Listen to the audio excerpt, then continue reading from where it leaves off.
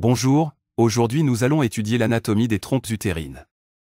Pour cela, nous allons adopter le plan suivant, d'abord une introduction, ensuite l'anatomie descriptive, les rapports, la vascularisation et innervation, quelques applications cliniques, avant de finir par une conclusion. Les trompes utérines, trompes de Fallope ou oviducte, sont deux conduits musculo-membraneux pairs et symétriques, allongés depuis l'ovaire jusqu'à l'angle supérolatéral de l'utérus faisant communiquer la cavité péritonéale, latéralement, en regard de l'ovaire, et la cavité utérine, elles assurent le transfert de l'œuf jusqu'à la cavité utérine où il se modifie.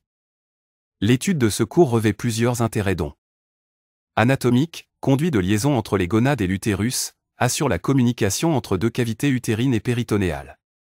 Clinique, lieu de fécondation de l'ovocyte.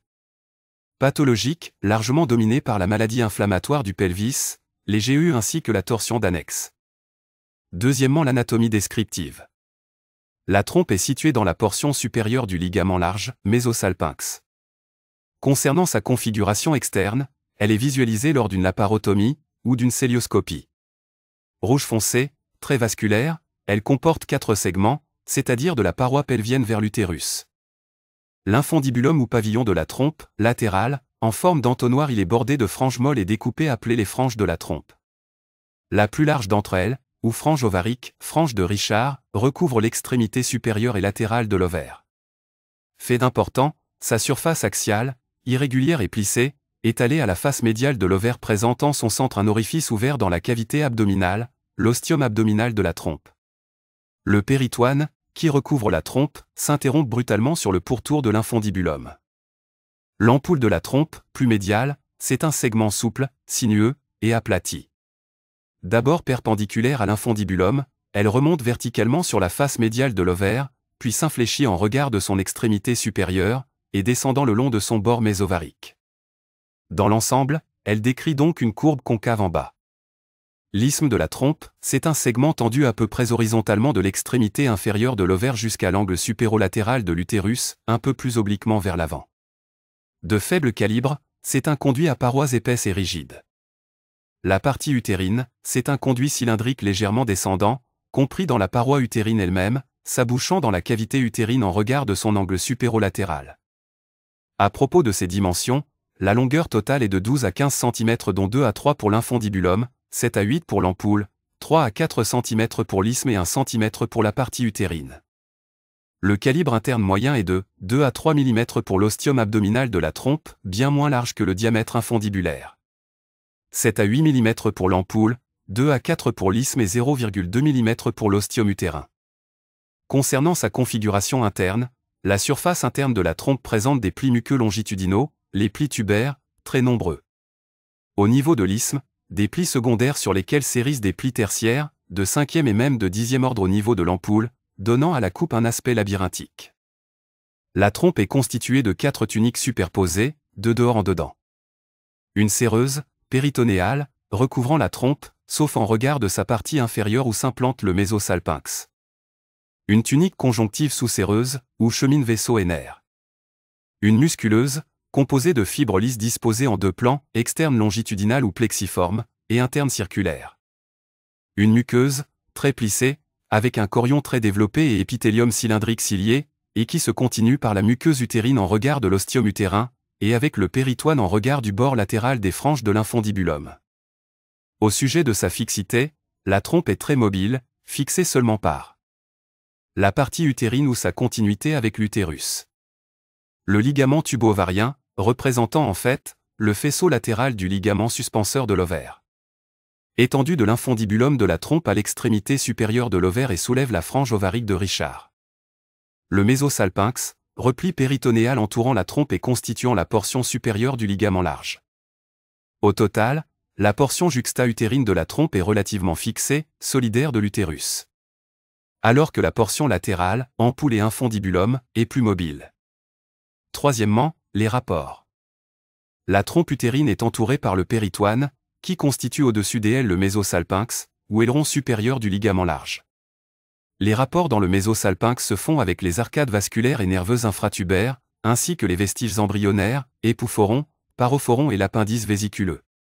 Au niveau de l'infondibulum, le péritoine s'interrompt, la trompe s'ouvre donc directement dans la cavité péritonéale, ce qui explique, en pathologie, certains cas de péritonite d'origine gynécologique. À gauche, l'ampoule répond en arrière au mésosigmoïde et au sigmoïde. À droite, l'apex sécal reste situé à environ 3 travers de doigts au-dessus de l'ampoule tubaire. Ce n'est que dans les cas d'appendice vermiforme pelvien que trompe et appendice sont en contact. Ceci explique que les piosalpinx puissent s'ouvrir dans le sigmoïde et que le mésosigmoïde protège efficacement la grande cavité péritonéale en se rabattant contre la face postérieure du ligament large, circonscrivant ainsi l'infection tubaire. Quatrièmement, vascularisation et innervation. La vascularisation artérielle de des trompes est assurée par les artères tubaires dont, les artères tubaires médiales qui sont grêles, au nombre de 3 ou 4, naissent de la terminaison de l'artère utérine. Elles irriguent l'isthme tubaire et s'anastomosent avec l'artère tubaire latérale pour former l'arcade infratubaire. L'artère tubaire moyenne, fréquente et volumineuse, se détache soit de la terminaison de l'artère utérine, soit de l'arcade infraovarique. Elle rejoint l'arcade infratubaire. L'artère tubaire latérale, branche terminale de l'artère ovarique, est plus fine que l'artère tubaire moyenne. Elle irrigue essentiellement l'infondibulum tubaire. L'arcade infratubaire chemine dans le mésosalpinx parallèlement à la trompe, à distance de 2 ou 3 mm. Elle donne naissance à intervalles réguliers, tous les 2 mm, à une trentaine d'artérioles tubaires spiralées, qui se détachent perpendiculairement, soit par l'intermédiaire d'un tronc commun. La microvascularisation de la trompe, du réseau artériolaire sous-séreux riche et sinueux dérive les réseaux séreux et musculeux. Le drainage veineux est assuré par les veines de la paroi tubaire qui se drainent vers une volumineuse arcade sous-tubaire, satellite de l'arcade artérielle. Cette arcade est tributaire des veines ovariques, latérales, et des veines utérines, médiales. Concernant les lymphatiques. Ils naissent de trois réseaux, muqueux, musculaires, sous-séreux. Ils se drainent par trois voies. La voie principale, rejoignant les lymphatiques de l'ovaire en regard d'huile, et gagne. Avec eux, la région lombaire, ganglion juxta-aortique. La voie iliaque externe, inconstante, tributaire des nœuds iliaques externes, nœud supérieur de la chaîne moyenne. La voie iliaque interne, très inconstante, satellite de l'artère ombilicale, nœud iliaque interne. Les nerfs. Ils proviennent du plexus ovarique, né dans la région lombaire, et du plexus hypogastrique inférieur, par le nerf latéral de l'utérus. Cinquièmement, les applications cliniques. La perméabilité des trompes utérines peut être vérifiée par l'hystérosalpingographie, qui est une technique radiologique qui consiste à injecter un produit hydrosoluble dans l'utérus et les trompes ou bien l'endoscopie par l'hystéroscopie qui examine la lumière des trompes utérines. La ligature des trompes est une méthode chirurgicale de contrôle des naissances. Les ovocytes libérés par les ovaires pénètrent dans les trompes et dégénèrent et sont rapidement résorbés. Les grossesses ectopiques tubaires peuvent survenir suite à des adhérences secondaires à un piosalpinx, infection de la trompe, ce qui empêche le fécondé de migrer vers l'utérus. En guise de conclusion, les trompes sont deux conduits qui prolongent latéralement les angles latéraux de l'utérus, jusqu'à la surface de l'ovaire, c'est le lieu de la fécondation, qui peut être atteint par une infection et dont les suites peuvent être responsables de grossesse extra-utérine avec risque de rupture. Le cathétérisme tubaire a un rôle à la fois diagnostique et thérapeutique dans la pathologie obstructive, touchant la partie proximale de la trompe.